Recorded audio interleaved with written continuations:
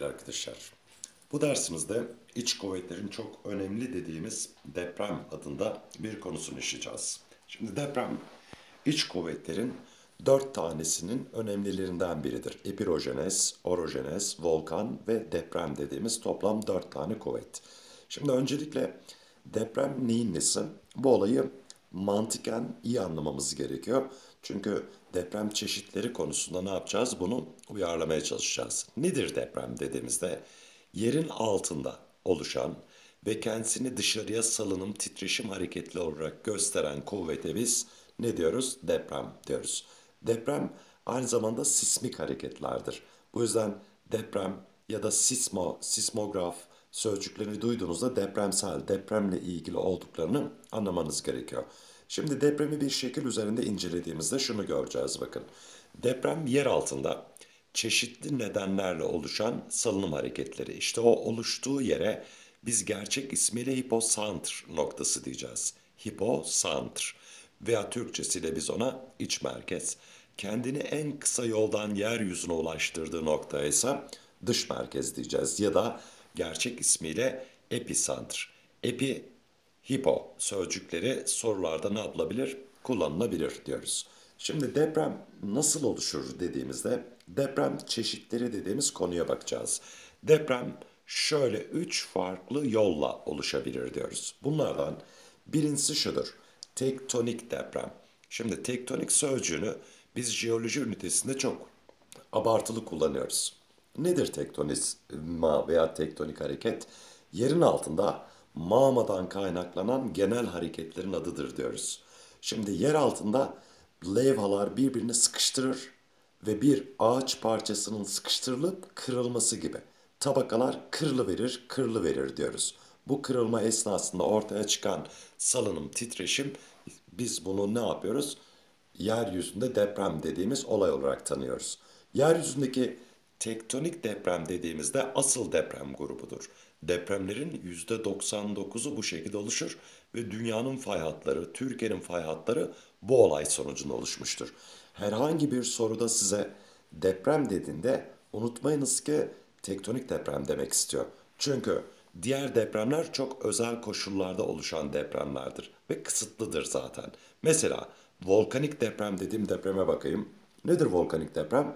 Yerin altından lav bastırıp yeryüzüne çıkarken ne yapıyor? Salınımlar, titreşimler yaratıyor. Ha lav çıkarken diyorum dikkat edin. Peki bizde şu an lav çıkışı var mı? Yok. O zaman ne olmuştur? Bu tür depremler bizde şu anda görülmeyen deprem grubudur. Ama ülke olarak mesela Japonya, Filipin, Endonezya gibi ülkelerde aktif volkanlar var. Özellikle de Japonya başta olmak üzere. Bunlarda ne oluyor? Bu deprem türü çok görülüyor.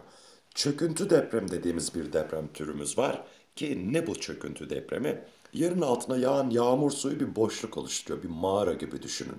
O mağara zamanla tavanını taşıyamıyor ve çöküyor. Depremler genellikle yerin içiyle ilgilidir. Tektonik ve volkanik. Ama bu dışla ilgilidir. Bakın yağan yağmur yaptı bunu. Genellikle Akdeniz bölgesinde karstik araziler yoğun olduğu için ne oluyor? Erime özelliği fazla ve yerin altında bir sürü mağara boşluk oluşuyor. Ve bu tür depremler görülüyor. Ama depremler içinde unutmayın en uyduruk, en basit olanı dediğimiz deprem türüdür diyoruz. Peki depremi neyle tespit ederiz? Tabii ki sismograf dediğimiz aletle. Sismograf aynı zamanda sismometre olarak da adlandırılabilir ve Richter ölçeği dediğimiz bir ölçekle de ne yapıyoruz? Şiddetini buluyoruz. Şimdi Richter ölçeğinin birimlerini sayısal olarak ezberlemeniz gerekmiyor. Ama şöyle bilin, işte Richter dediğimiz ölçek depremleri hafif, orta, şiddetli ve afet sayılabilecek şekilde birden 12'ye kadar olan rakamlar şeklinde ne yapıyor? Şiddetini belirlemiş oluyor diyoruz. Şimdi şiddet çok kullandığım bir terim oldu dikkat edin. Peki bir deprem niye şiddetli olur, niye az şiddetli olur? Bu neyle ilgilidir derse ki yaşadığımız depremlere bakarsanız Türkiye'de hemen hemen günde 2-3 tane deprem oluyor. Bunların büyük çoğunu hissetmiyoruz bile. Ama mesela bir yakın tarihimize baktığımızda işte bir Muş, Varto depremi, bir Diyarbakır, Lice depremi, Erzincan depremi, Van, Bolu Düzce, yakın bir zamanda yaşanan yine Elazığ, Malatya depremleri nedir genel olarak? Ülkemizde yoğun depremlerin yaşandığını ve farklı büyüklüklerde olduklarını ortaya koyuyor. Şimdi şiddet öncelikli neye bağlıdır dediğimizde terim olarak hiposantır, episantır arasındaki mesafe deriz. Ne bu yani? Ne demek istiyor? Şunu demek istiyor. Hiposantır, episantır, iç merkez, dış merkez arasındaki mesafedir. Şu mesafeden bahsediyor. Deprem yüzeye yakın bir yerde olursa şiddet çok. Ama çok derinde bir yerde olursa şiddet ne olur? Daha düşük olur. Mesela ajanslarda depremle ilgili haberler verildiğinde, geçildiğinde hemen derler ki işte yerin 6.3 kilometre derinliğinde gerçekleşen neyi belirtiyorlar dikkat edin.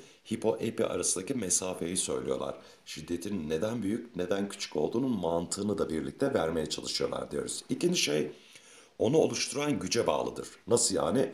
Şimdi tektonik oluşumlu bir deprem düşünün. Büyük bir tabaka kırılıyorsa büyük, küçükse küçük olur. Büyük bir yanardağ patlıyor, küçük patlıyor. Büyük bir mağara, küçük bir mağara çöküyor. Buna göre oluşturucu güç büyükse büyük, küçükse küçük şiddette depremler yaşanır. Bir de yüzeyden depreme olan yakınlık uzaklık dediğimiz bir kavram var. Bu ne demek tam olarak? Bu terim olarak şudur. Mesela deprem nerede oldu diyelim ki? Deprem Elazığ'da oldu. Malatya onu farklı hisseder. Kayseri farklı hisseder. Eskişehir farklı hisseder. Ondan uzaklaştıkça şiddet ne yapıyor? Azalmış oluyor diyoruz. Peki nasıl bir afet türüdür deprem dediğimiz? Can mal kaybı yaratan çok korkunç bir olaydır. Ama doğanın yaşanması için, doğanın kendini yenilemesi, yapılandırması için olmazsa olmaz olumlu bir kuvvet olarak kabul edilir diyoruz. Peki deprem ne yapıyor? Can mal kaybı yaratıyor. Ne yapabilirim? Korunma yolu gerçekleştirebilir miyim? Tabii ki mümkündür. Ama şunu unutmamak gerekiyor. Deprem ne zaman olacak? Bilmiyoruz. Oluştuğunda onu durdurup yavaşlatabiliyor muyuz? Hayır. O zaman tam olarak bundan bir korunma yolu yok. Sadece önlemler alırız ve aldığımız önlemlerle can mal kaybımızı en aza indirgemiş oluruz. Şimdi ben depremden korunmak istiyorum. Ne yapacağım? Öncelikle yerleşim alanlarımı fay hatlarından uzak tutacağım. Çünkü fay hattı bir önceki depremlerde oluşmuş bir kavramdır. Sen gidip en tehlikeli, en riskli alanı yerleşim alanı olarak seçemezsin demek istiyorum.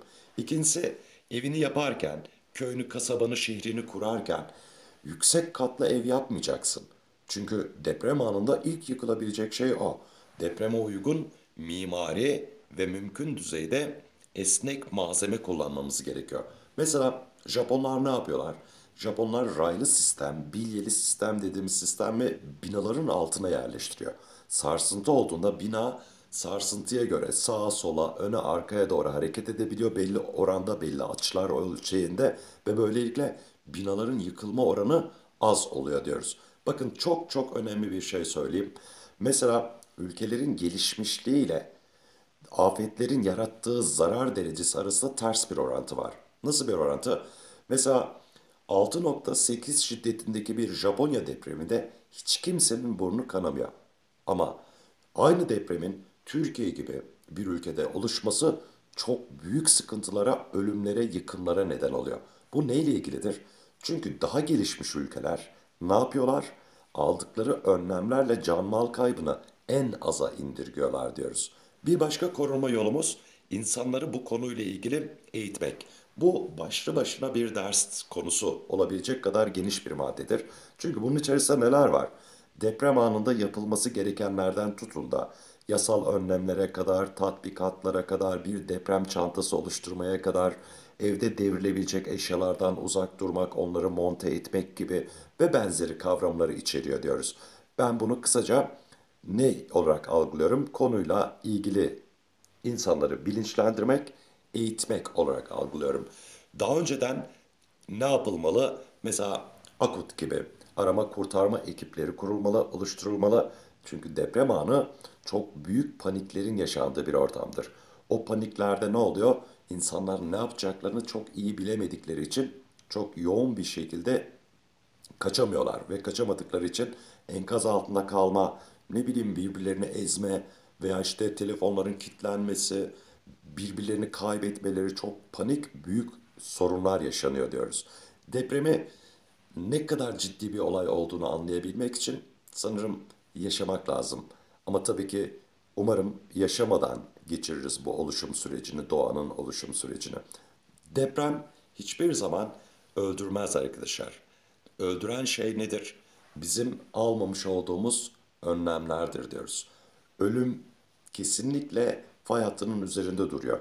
Ona yakın durmayacaksın, önlemlerini alacaksın. Böylelikle can mal kaybını en aza indireceksin. Çünkü ülkemiz depremlerle iç içe olan bir ülkedir. Bu yüzden biz depremle birlikte yaşamayı öğrenmek zorundayız. Bir başka dersimize görüşmek dileğiyle. Hoşçakalınız.